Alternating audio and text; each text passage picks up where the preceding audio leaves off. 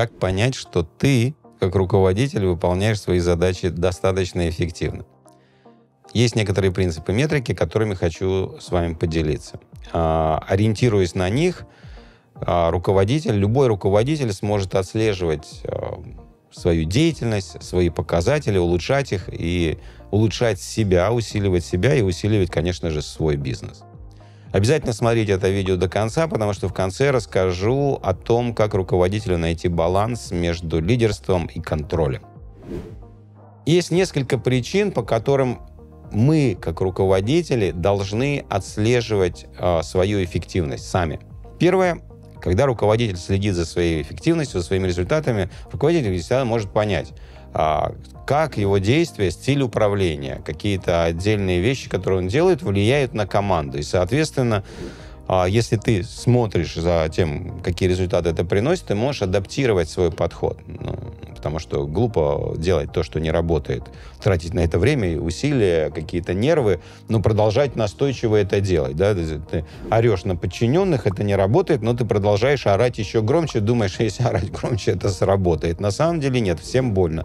Тебе больно, сотрудникам больно, не работает. Поэтому важно оценивать, что для тебя работает, что нет, что приносит результаты, что нет.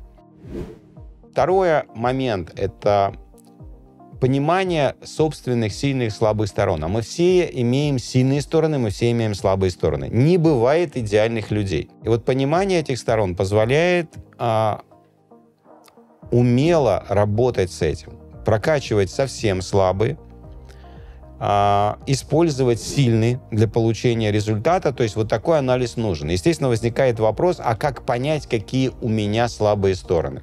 У каждого есть слабое место. Например, у Пандоры был тот ящик, а троянцы поставили не на ту лошадь. Вот, и мы сможем найти такое у Вундеркинда. Здесь есть один такой э, секрет. Мы все люди, и мы примерно одинаково действуем. Мы избегаем э, того, что у нас слабое. Мы это просто избегаем.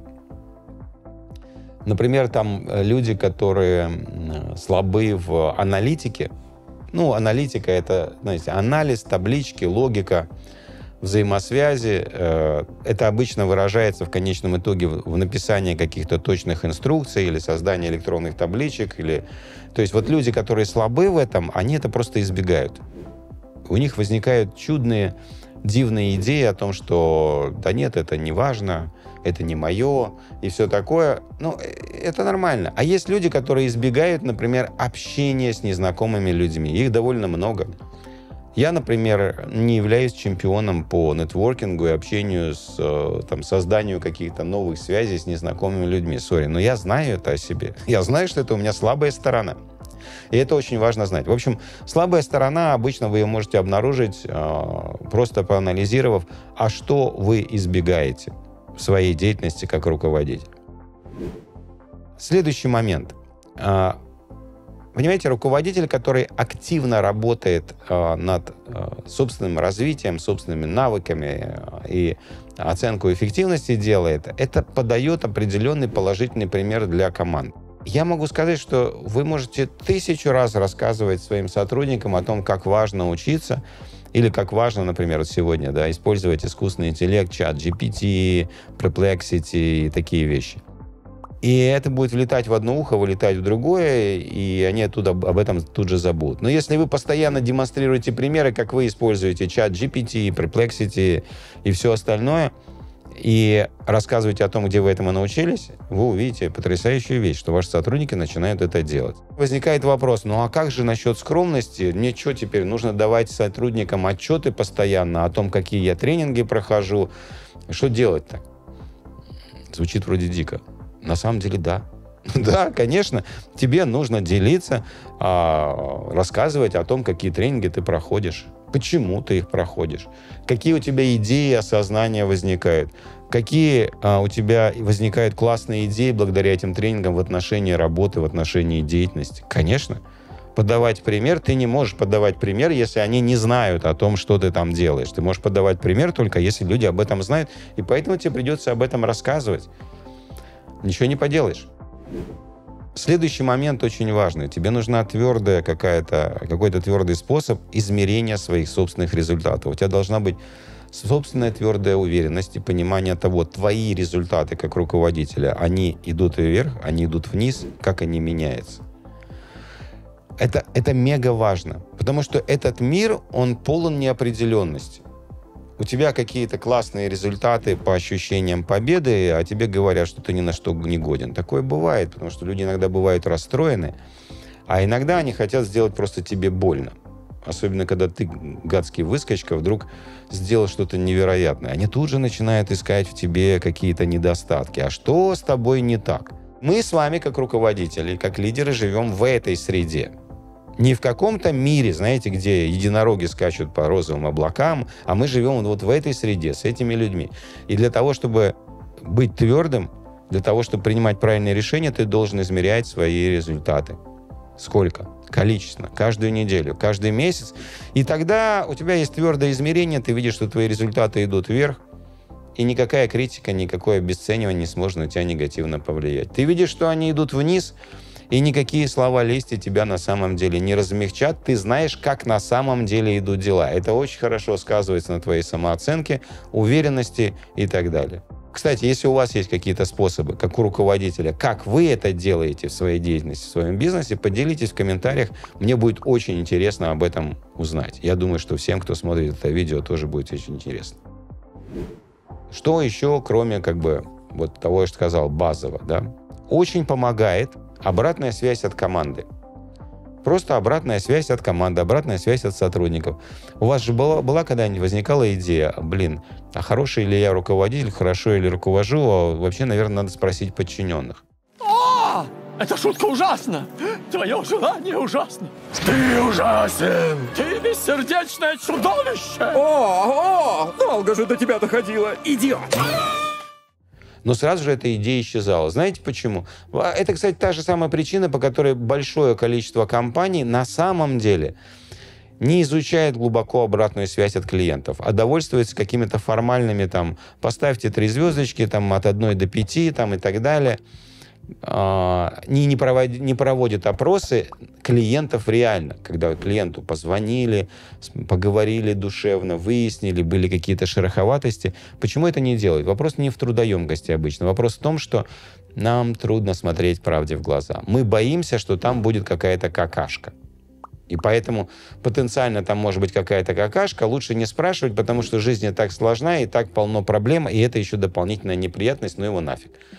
Не бойтесь, берите всегда обратную связь от команды, делайте это просто в личном общении, проводите анонимные, анонимные опросы, они тоже работают.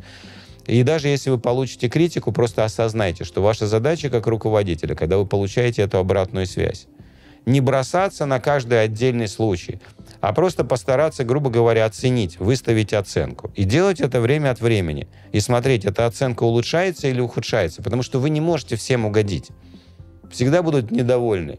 Но если в целом вы видите, что эта оценка улучшается, значит, вы на правильном пути, значит, ничего не надо менять. Продолжайте действовать, как вы действовали. Если она ухудшается, вам, конечно, нужно будет что-то сделать.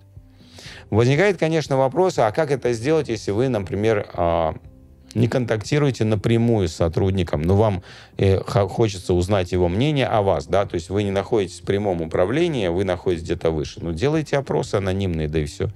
Это все решает твердая формулировка а, того, как оценивать результаты всей вашей команды, которая в, ваше подчин... в вашем подчинении находится. Потому что, чтобы измерить результат работы руководителя, нужно просто измерить главный результат работы его команды. Если все просто. Например, я являюсь сооснователем бизнес-акселератора «Бизнес-бустер». Какой главный результат акселератора «Бизнес-бустер»? Естественно, это предоставленная прокачка, помощь в том, чтобы прокачать бизнесы наших клиентов, резидентов бизнес-бустера. Поэтому у нас есть показатель, который измеряет, как меняются бизнесы наших резидентов бизнес-бустера. И вот таким способом я измеряю свой собственный результат. И если он растет, это значит, что да, я несовершенен. Я делаю глупости, я делаю ошибки, иногда я ленюсь, но если он, этот результат растет, это значит, что я делаю свою работу в целом более правильно, чем неправильно. А если он падает, ну, конечно, мне нужно сделать работу над ошибками. И чем бы вы ни руководили, человек руководит отделом продаж, ну, прекрасно. Общий результат работы отдела продаж – это доход компании. деньги получены на счета. Все это очень легко измерить. Ты строишь график, ты видишь, идет это вверх или вниз а, и так далее. Следующее. А, потрясающий инструмент, который мне помогал и помогает, это анализ своего рабочего времени. У руководителя много разнообразной работы, связанной с людьми, которые отвлекают, которые забирают внимание и так далее. Поэтому очень важно понимать, что на самом деле я делал. Потому что мне же для того, чтобы самосовершенствоваться, мне надо понимать, какие действия я совершал, какие результаты я получил, и проанализировать, как одно связано с другим, чтобы понять, от чего мне надо навсегда избавиться, а что мне надо усилить. Анализ рабочего времени — это простая вещь, когда я просто пишу все, что я делал. Просто как, знаете, журнал. Дорогой дневник, я все еще на острове. Сегодня я проглотила жука. А потом я анализирую. И анализирую с какой точки зрения. Я просто задаюсь вопросом, то, что я делал, какое имеет отношение к результату, который я хочу получить как руководитель? И очень часто я обнаруживаю, что это, это действие вообще не имело никакого отношения к результату. Этим можно было не заниматься. Это нужно было кому-то точно делегировать. Но даже если бы это профокапило, все равно ничего страшного не было. Понимаете, да? Вот это то, что дает анализ, когда ты просто смотришь на свои действия, да, у нас же всего да, 24 часа в сутках, да, и 8 часов рабочего времени. Когда ты смотришь, что ты туда поместил, ты начинаешь аналитически потом думать о том, что, черт, как себя откорректировать, как стать лучше. Следующее, что помогает нам становиться круче, лучше, эффективнее. Это, конечно, конкретные четкие цели и планы. Во многом работа по управлению связана с тем, чтобы ориентировать, фокусировать подчиненных на достижение определенных результатов. Таким образом, я не знаю, половина хаоса в управлении людьми просто исчезает, когда все понимают, куда они идут, к какой цели. Для этого у нас есть собрание, для этого у нас как минимум раз в неделю мы собираемся всей командой и рассматриваем основные, так чтобы не занимало много времени, основные результаты, основные планы, основные цели и все. И это то, для чего, собственно говоря, такие координации нужны. Неважно, они проводятся в офлайне, они проводятся в онлайне, э, они одинаковы. Следующее, э, что нужно делать для того, чтобы быть эффективным руководителем, это, конечно, адаптироваться и развиваться. Я видел, как очень много талантливых ребят с большими результатами становились устаревшими такими мастодонтами, знаете, устаревшими, и теряли свои позиции, уступали свои позиции более молодым, более современным, более технологичным ребятам. Ну, понимаете, ты чемпион. У тебя самые лучшие результаты. И ты думаешь, что вот, ну, все, ты достиг совершенства. А мир-то меняется, постоянно новые технологии, AI, автоматизация, какие-то новые подходы, новые идеи, философии и так далее – и если ты не интересуешься этим, да, а интересоваться, смотрите, интересоваться это не просто какое-то внутреннее состояние. Когда я говорю интересуешься, это значит, что ты прямо время на это выделяешь. На то, чтобы посмотреть видюшки, побывать на каких-то вебинарах, почитать какие-то статьи, почитать какие-то книжки.